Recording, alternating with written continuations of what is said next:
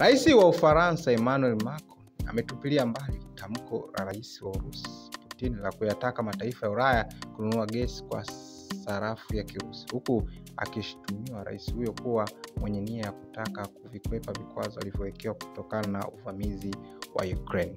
Macron amesema hatua ya urusi haipo katika makubaliano na haoni sababu ya kutekeleza kwa jambo hilo.